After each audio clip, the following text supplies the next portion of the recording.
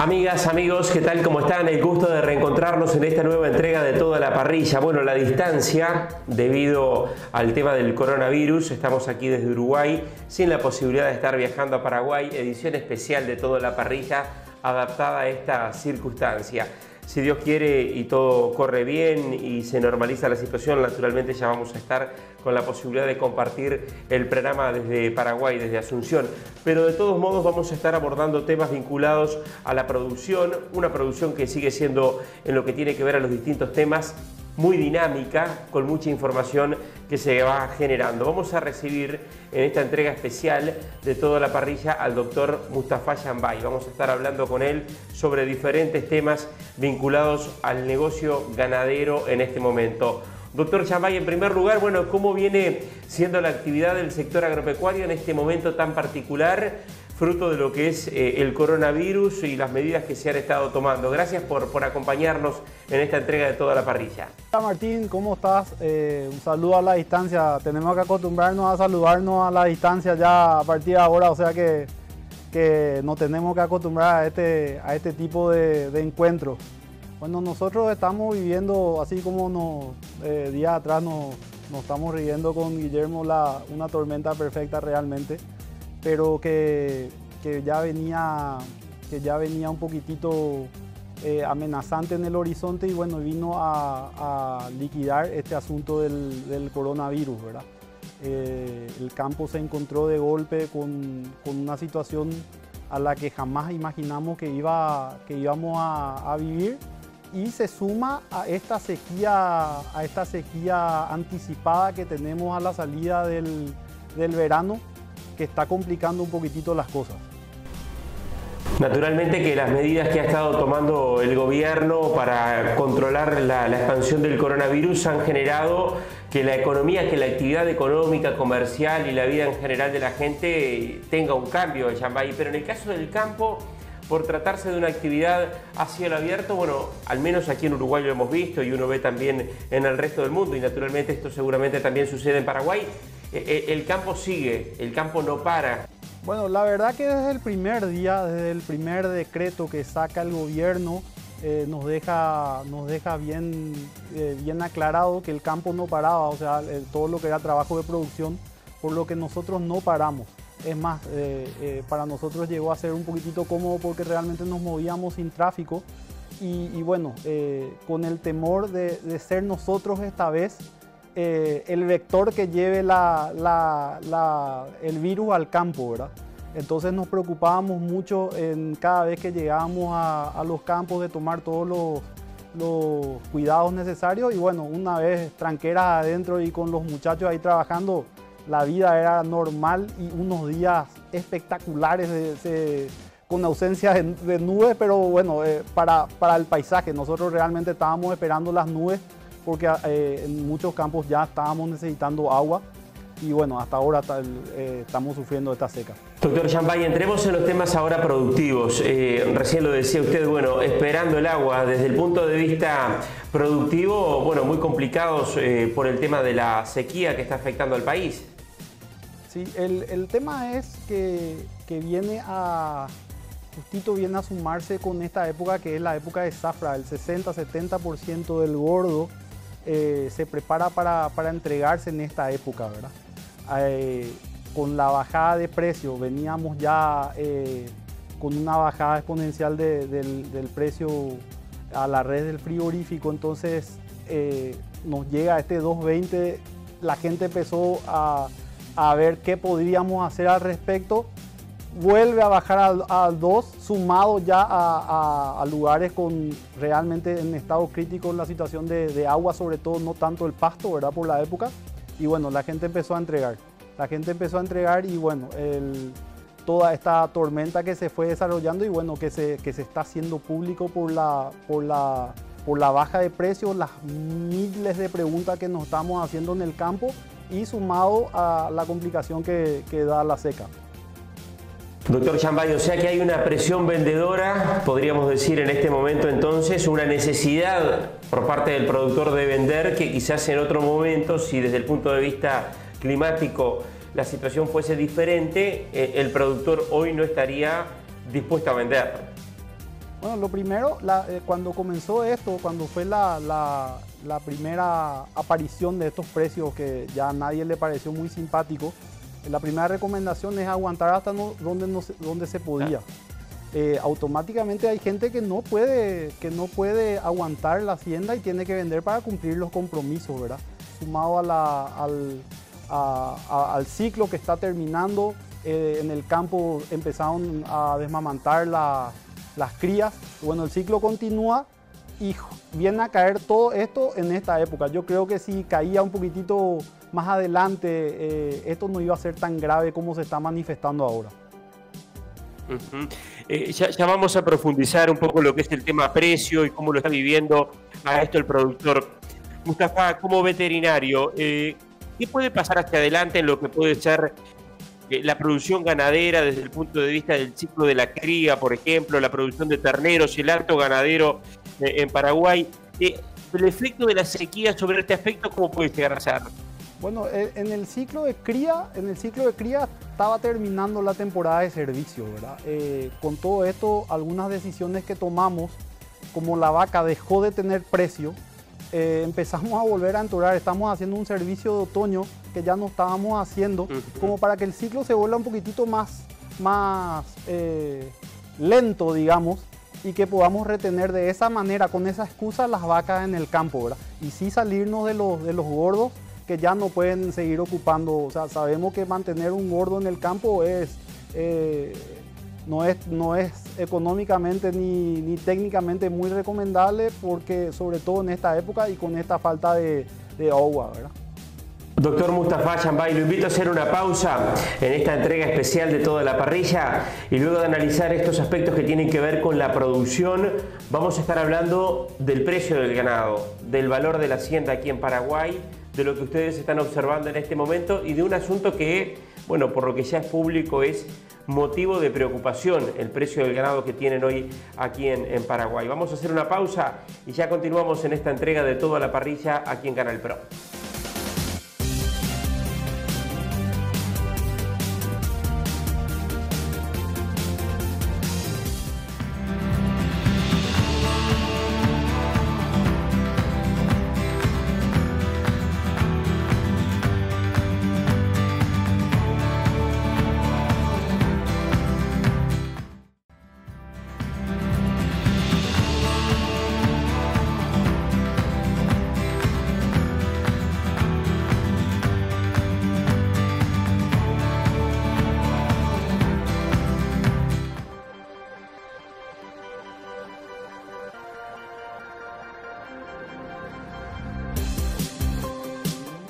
Comenzamos amigos este segundo bloque de toda la parrilla aquí en Canal Pro, en esta edición especial, podríamos decir, esta edición coronavirus. Eh, a la distancia, nosotros aquí desde Uruguay en este contacto con el doctor Mustafa Yambay, que es eh, responsable de campos de Ferusa, que está relacionado naturalmente a todo lo que es la actividad ganadera, que es médico veterinario por otra parte. Doctor Yambay, habíamos dejado planteado antes de la pausa hablar del precio del ganado, que bueno, naturalmente ha generado preocupación el valor de la hacienda aquí en Paraguay y particularmente podríamos decir eh, la formación del precio. Hay un, hay un novicio que está en el entorno de los 2 dólares en el, en el país. Em, ¿Por qué le genera justamente, o, qué explicación tienen ustedes, o usted particularmente, eh, a propósito de lo que es esta, esta preocupación, esta inquietud y este, podríamos decir, malestar que hay con lo que es el precio que hoy está recibiendo el ganadero por la hacienda aquí en el país? Bueno, eh, no, nos conforma porque es bajo, o sea, eh, la respuesta es, muy simple y te vuelvo a decir, pongamos un paréntesis de lo que es episodio pandemia, pero aquí nos fijamos ya en marzo, cuando el precio, el, precio de exportación estaba en, en 4.500 dólares la tonelada y el valor que nosotros estábamos recibiendo estaba por los 2 dólares 60 y luego cuando empieza, eh, empieza este tema de la pandemia baja a 2.20 para, para hoy cotizar 2 dólares, ¿verdad? Y con, con, el 50% de capacidad de faena del, del grupal de los frigoríficos de exportación. Entonces, además del precio bajo, tampoco tenemos lugar para, para, para, colocar nuestros productos. Como bien habíamos hablado antes, es una época donde necesitamos salirnos porque el ciclo continúa. Entonces, eh, nos hacemos varias preguntas, Martín, o sea, las mismas preguntas que, vos me estás haciendo, eh, yo, nos hacemos entre todos y, no estamos pudiendo, mira que ya se habló con mucha gente y no, no estamos encontrando las respuestas, ¿verdad? ¿Por qué están pagando tan, eh, el precio que estamos recibiendo los productores es tan bajo? Y ahí empezamos a comparar con, con los países vecinos, ¿verdad? Y bueno, listo, ahí entra, entra la gran cuestión que, para nosotros es, aparte del, estar atomizado en tres mercados que sufrieron mucho el, cierre total de las actividades por la pandemia, que, más o menos engloban casi el 80% de estos tres mercados, es la ausencia del gran jugador hoy mundial, ¿verdad? Que es China. Eh, nosotros somos el único país de la región que no está, que no está pudiendo hacer negocios con China eh, en lo que se refiere a, exportación de productos, en este caso la carne. Doctor Chambay, ahora es un tema que tiene que ver con la falta de mercados, eh, particularmente el tema de no tener acceso a China, que sí lo tiene, por ejemplo, Uruguay, Argentina y Brasil en la, en la región, ¿O es un tema que también está relacionado al funcionamiento del mercado en, Paraguay y, particularmente a la cantidad de frigoríficos que participan de la, compra de Hacienda? Mira, eh, yo creo que es una suma de todos, ¿verdad? Pero vamos a, ir por parte, ¿verdad? El tema de la concentración de, las industrias en, tres o cuatro canales es la misma situación que está viviendo eh, también Uruguay, ¿verdad? Donde yo veo esa diferencia, o sea, ahí empiezo a, diferenciar un poquitito lo que es eh, Uruguay de Paraguay, es que Uruguay tiene instituciones mucho más eh, jugadores que, salen a, negociar, a estar sentados en la mesa donde se firman los contratos, llámese en este caso el, Instituto de la Carne, que son plataformas, institutos que nosotros no estamos pudiendo eh, tener no nos estamos pudiendo organizar de la forma de, señores, es, una necesidad de hoy tener un instituto de la carne para poder salir a sentarnos y ver los contratos y negociar e ir a abrir nuevos mercados. O sea, siempre nos decían y siempre decimos en el campo, eh, los huevos pongamos en varias canastas, ¿verdad? Y es algo a lo que yo me refiero con el tema de, tenemos prácticamente tres mercados que no son mercados premium, de los mercados premium que hablamos, eh, el 80% de nuestra exportación del producto para 149 mil productores, que esa es la realidad, ¿verdad? Y los datos están muy bien porque nuestro sistema de vacunación es un sistema para mí impecable, entonces los datos están demasiado bien. Ahora, cuando nosotros salgamos, y yo soy muy positivo por, naturaleza y, estoy seguro que, que después de esto es una necesidad la creación de todas estas plataformas me hago la consulta y estamos preparados nosotros. ¿cómo va nuestro sistema de trazabilidad? Hoy que la trazabilidad no nos aporta eh, eh, mayor diferencial por estar en un campo eh, CITRAP o no, ¿por qué no, no masificamos la trazabilidad? ¿Por qué no hacemos que la trazabilidad sea prácticamente obligatoria para todos? Porque hoy los hábitos alimenticios de los, de los consumidores finales nos exigen, nos exigen saber qué están cocinando, qué están comiendo. Eh, eh, entonces nosotros tenemos que ponernos a la altura de ese consumidor final para cualquier mercado del mundo, no solamente para estos tres mercados que no nos exigen muchas cosas. Y ahí es donde yo también me pregunto, ¿será que no pecamos un poquitito de estar en la zona de confort? ¿Será que realmente queremos salir a conquistar nuevos mercados? Tenemos la capacidad y bueno, y escuchando a, los referentes de la industria nos dijeron que tenían una capacidad de faena de 3 millones de cabezas al año y no superamos las 2 millones de cabezas. Entonces, ese, ese, esa capacidad de un millón de, de, cabezas que podemos faenar va a ser un incentivo para muchísimas cosas más. Y ni hablar como capítulo, como capítulo aparte el mercado chino. Eh, ¿Cómo no quedarnos, cómo no quedarnos y, los referentes de, los grupos que se están armando porque ah, se reunieron con las autoridades y nos dijeron eh, olvídense de China. ¿Y por qué nos vamos a olvidar de China? Si hoy es el mercado más grande y emergente, son 1.500 millones de, personas que sí o sí necesitan comer carne y sumado a la crisis, del, a la crisis que tuvieron con la peste porcina, eh, la bajada del stock de, de cerdo hace que el año pasado haya aumentado la importación de carne a China un 70%. Y nosotros estamos viendo todo ese escenario eh, desde afuera, ¿verdad? Entonces, claro. Eh, siguiendo un poquitito, empezamos a ver por qué nosotros eh, Taiwán y no China, ¿verdad?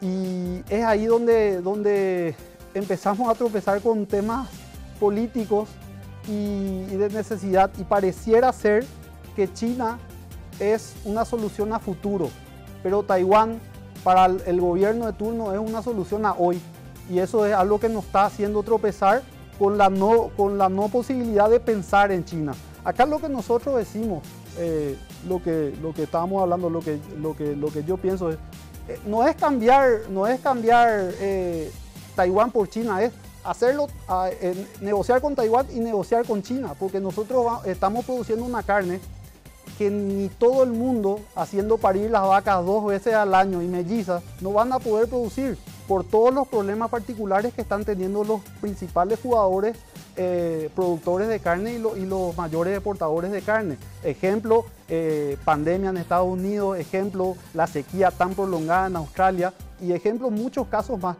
que hacen que realmente tarde o temprano alguien va a golpear nuestras puertas de buena o, mala manera y nos van a decir necesitamos la carne de ustedes. Claro, claro. Doctor Chambay, eh, a, propósito de esto y para, de alguna manera marcar un, contexto y, una conclusión, o sea, hoy el problema más importante que tiene la cadena de la carne en Paraguay, desde su punto de vista, pasa por el acceso a mercados y el tema de no tener eh, la posibilidad entonces de vender en China. Esta, esta diferencia que tiene hoy Paraguay con respecto a los países de la región, por ejemplo Uruguay, más allá de que también aquí en Uruguay hemos tenido una baja del precio del ganado en estos últimos seis meses. El año pasado, 2019, cerró con un novillo en el entorno de 4 dólares con 30. Hoy el novillo está en 3 dólares con 20, pero China es y sigue siendo el principal protagonista de las exportaciones. O sea, usted visualiza hoy como el problema más importante de la ganadería en Paraguay el hecho de no tener acceso a China. Eh, totalmente, totalmente. Vamos a, decir como principal problema es no estamos jugando el partido con el principal mercado, el mercado más grande y el mercado emergente que está demandando, como, como escuchamos en una, en una charla, de una, eh, dijeron y, quedó también el, el, término, es una aspiradora que está, que está eh, consumiendo lo que el mundo produce, ¿verdad? Y en el caso de Uruguay, o sea, corregime si estoy equivocado, tienen muchas válvulas de escape. Ustedes pueden, eh, pueden exportar eh, un barco lleno de, desmamantes, de toritos. Eh, tienen unos mercados, o sea, está bien tipificado. Hay mercados que, que mandan la red entera, otros mercados que mandan los cortes premium, tienen acceso a prácticamente los mercados más importantes del mundo. Y bueno, esas son las cosas que nosotros tenemos que copiar que copiar y realmente eh, hacer el trabajo, hacer el trabajo de salir a conquistar esos mercados. El producto que nosotros estamos produciendo, Martín, estamos seguros que es un muy buen producto. Eh, tenemos el 60% del territorio nacional eh, es el Chaco y desde, desde, desde digamos, desde el Chaco central para arriba terminamos los animales a pasto.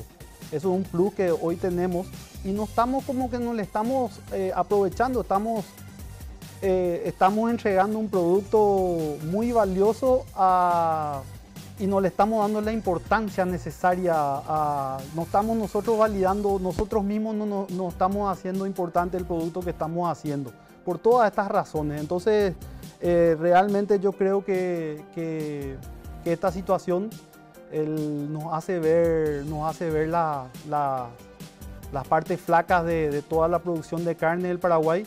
Y bueno, ahora es donde nosotros tenemos que mirar hacia arriba y decir, bueno, ¿qué nos hace falta para jugar en las grandes ligas? Porque el equipo está, el producto está y ahora nos hace falta realmente poder entrar a esas grandes ligas. Doctor Mustafa Chambay, bueno, podríamos seguir conversando, indudablemente hay temas muy interesantes para analizar con respecto a lo que es el actual momento de la ganadería en Paraguay y en el mundo en esta circunstancia tan especial donde, bueno, el tema del coronavirus naturalmente ha generado también un cambio muy importante. Si Dios quiere y espero que pronto ya nos eh, podamos estar encontrando por allí, por, por Asunción, para compartir eh, un mano a mano que siempre es muy interesante para hablar de distintos temas. Gracias por, por estar con nosotros en esta entrega especial de toda la parrilla y un saludo desde Uruguay a usted y a todos los televidentes. Gracias por acompañarnos. Martín, te mando un abrazo grande, siempre un gustazo, ¿verdad? Eh, cuando hablamos aquella vez del tema ovino, dijimos, vamos a juntarnos otra vez para hablar del Bradford en otra, que ni nos esperamos, ¿verdad? Eh, somos personas que hacemos flujos y proyecciones y todo eso y la, nunca pensamos que, la columna de imprevistos, la fila de imprevistos iba a ser tan grande. Y bueno, eh, ahora es a, trabajar, a marcar objetivos, eh, a juntarnos sobre todo, ¿verdad? Aquí es donde yo creo que se habló y se malinterpretó que el, que el gobierno tiene que interceder en el mercado. Nunca se habló de eso, sino que el, yo creo que el gobierno preocupado porque uno de los principales, eh, una de las principales patas de la economía del Paraguay está pasando por un, por un momento no muy bueno y que va a repercutir. Aquí dicen que es un millón y medio eh, forma directa a las personas afectadas con la producción de carne. Yo creo que son más yo creo que son más porque eh, no solamente le afecta a, las personas que estamos en el campo, las que dependemos, las que transportamos, las que procesan, sino que eh, el problema de la carne es un problema que tenemos que tomarlo como, ah, como una causa nacional. Mustafa, y además se queda claro que en buena medida la llave para solucionar esto, que es lograr nuevos mercados y particularmente China, la tiene el gobierno. Totalmente, totalmente. Yo creo que como una agenda, como una agenda, si no se puede a corto plazo, a mediano o largo, sí o sí tendríamos que, llegar algún día. Y yo creo que también va a venir del otro lado el pedido, ¿verdad? Hay una necesidad de, proteína roja que, ningún país eh, va a poder va a poder llenar hoy con todos los acontecimientos particulares que ellos están pasando. Y nosotros estamos con el problema de que no sabemos qué hacer con la producción de carne. Es increíble realmente si, si lo vemos de esa forma. Doctor Chambay, muchas gracias por, por acompañarnos y bueno, ojalá que sí, que todo mejore pronto para lo que es la actividad ganadera y para, para el país en, en general. Gracias por, por acompañarnos. Amigos, el final de esta entrega de toda la parrilla, un saludo desde Uruguay. Bueno, ojalá, como recién lo decíamos, que pronto podamos estar allí eh, participando eh, de, las, de las grabaciones y de este mano a mano que semanalmente mantenemos en toda la parrilla. De todos modos, a la distancia vamos a estar durante todos estos días en contacto con distintos entrevistados y protagonistas del sector ganadero para hablar de temas de actualidad. Gracias por acompañarnos, un saludo a todos los compañeros allí en, en Asunción del canal. Nos estaremos reencontrando nuevamente con todos ustedes en la próxima semana. Que tengan una muy buena jornada. Gracias por acompañarnos en toda la parrilla.